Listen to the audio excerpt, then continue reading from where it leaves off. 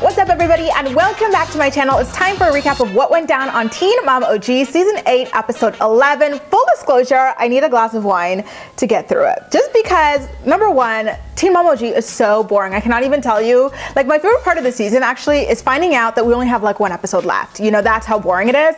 And number two, it literally is just one of those weeks where you're just like, ugh Anyway, the episode seems to almost completely revolve around Ryder's little temper tantrums. I feel like maybe um, she was in a lot of pain because, you know, herself and her mother had to carry the entire season of the show on their damn backs themselves. So um, there was a scene of Cheyenne and Matt trying to deal with her, you know, having her little meltdown, running around screaming, and it just reminded me of why me at this young age without children, why I don't date men with kids. Like this was just more than enough for me. So Catelynn and Tyler want to visit Carly with cameras, of course, knowing that uh, Brandon and Theresa are not interested in turning Carly's life into a media circus. And so they're in the kitchen of their home with Catelynn's dad, and Catelynn's dad, you know, just arrogantly says, Oh, Brandon and Theresa should, you know, be used to the whole camera thing by now. Well, no, Brandon and Theresa don't have to be used to the whole camera thing by now because they're not employees of Viacom shooting a television show. So it's not their job to be comfortable with it. In fact, it's Catelynn and Tyler who like 10 years later should be used to the fact that these two don't want their child on camera. Catelynn and Tyler, of course, complain about like the restriction. They're like, oh, Brandon and Theresa are not allowing us to show this on air. And it's just, it really sucks because what we do is we live our whole entire authentic lives on television. And this is a big part of our lives. Like we want to be open about every aspect of our lives, which is a complete and utter lie because earlier this season slash late last season when, you know, Tyler was telling us about how repulsed he was by his wife, um, they decided to go and seek couples therapy. Remember when they were about to divorce?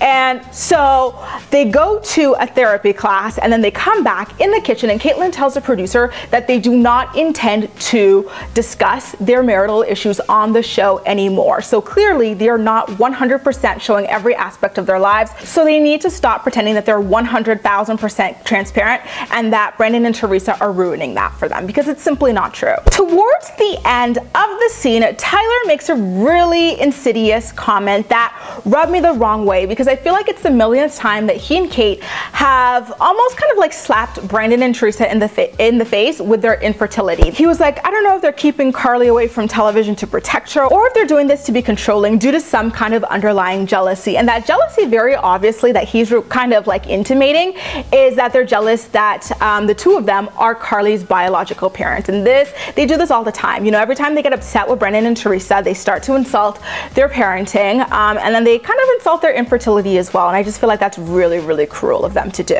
Meanwhile, down south, Mackenzie claims that her fitness DVD business is her family's main source of income, which is a bit concerning to hear because I doubt it is pulling in all that much. And if that is the bread and butter of your family, then I don't think that Josh, who already has like what, three and a half, four brain cells up there, should be riding around on these um, bulls, you know, because it's just a dangerous line of work. And if it's not bringing in that much money, then he should be doing something else. They are really laying it on thick with the whole Josh is a cheater or neglectful like husband storyline. Like two episodes in and we already are at another crossroads here. So Mackenzie tells us that Josh said he was going to do something like with the lawn or whatever. And um, she's been trying to reach him for a while so that she can go to the gym or whatever. And um, so she tries to call him and he has not been picking up all day. And so she vents about it in front of her children, which obviously upsets them. They start getting like moody and fussy. And I'm like, girl, you're not supposed to complain about the father of your child in front of your children. How many times do these girls have to make this mistake? It's not smart at all to do this. Your kids are not your friends, you know, like go vent to your friends. Let your kids just be kids. Meanwhile, in Indiana, Amber is sitting around in Indiana at home with her Andrew and uh, she seems kind of upset, like, you know, like agitated about the fact that he and baby James are playing with bubbles. And I swear this is only like the second time we've seen her make physical contact with this infant all season. And it was just her going to snatch a cup out of his hand. I mean, seriously, you guys, when have we ever seen Amber holding, cuddling this baby? Don't worry, I'll wait. It would not be a scene about baby James if we did not have Amber complaining about him. She complains that he fussed all night, so she did not get to sleep a full night. And it's like, girl, we already know you don't get up with this child, so what are you even complaining about? Like, if anything, Andrew should be complaining because he's the only one in that household parenting this child. Meanwhile, in Tennessee, Maci and Taylor are truly showing how dull they are without getting to lean on Ryan's addiction for a storyline. We get yet another episode centered around their reproductive organs, and Taylor seems really immature about vasectomies. It's almost like he thinks like you lose your manhood, you get castrated, your voice goes high pitched or something when you get a damn vasectomy. Like I was a little bit like, really dude, how old are you here? Over in LA, Cheyenne decides that Matt hasn't gotten enough time time around Ryder, and so she decides to set up a romantic weekend for the two of them and more time for him to be around Ryder by going to a vineyard, which I think is a really dumb idea. So they get to the vineyard, they feed ostriches with Ryder for a little bit, and so I guess in Cheyenne's mind, that was enough of a like energy drain for Ryder to peacefully sit around while she and Matt tasted wines for the next like hour, hour and a half or something like that, you know, as a two-year-old. And obviously, it did not go according to plan. Like Ryder was just, you know, it was a whole new environment. Again, she's two years old, so of course she wanted to explore everything, run around. The sommelier did not really get a chance to show them anything because of the distraction. It was just so crazy to me because Cheyenne always has that one sister with her, the one with the name on layaway, and the one day where it would have been perfect to have her as a nanny for Ryder, she doesn't bring her, right? And so the whole entire day kind of goes to S-H-I-T. The camera also caught Matt quite a few times looking really fr uh, flustered and frustrated and irritated with the whole thing. Maybe he caught, you know, my allergy of dating people with kids at that point. Maci brings Taylor to her OBGYN to discuss, you know, which surgery is more intense, getting her tubes tied or him getting a vasectomy. And of course, her doctor tells him the common sense thing. Getting your tubes tied is a lot more of an invasive, like complicated surgery. And I just continue to get more and more frustrated with Taylor as the episode progressed. Literally, your wife has been telling you for how long now that she's not going to have another kid? Like, what more do you want? Like, all of these other kids that you want to have, who are you going to have them with if it's not your damn wife? Like, listen to her. She's already had three kids. She's dealing with PCOS. She even tried to compromise with him by telling him, like, listen, we can get your sperm frozen, you know, so if we change our mind down the road, we can still have more babies. And he still was not down for that. And I was like, you know what? men. I swear to God, men. To Mackenzie McKee again. She takes her kids with her to drop in on Josh at the gym and she criticizes him in front of them yet again, going as far as calling him a D-I-C-K. I am telling you, these people are so dim.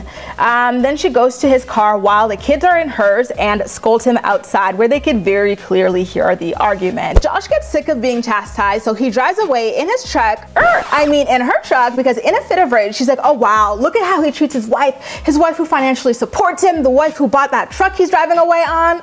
Damn.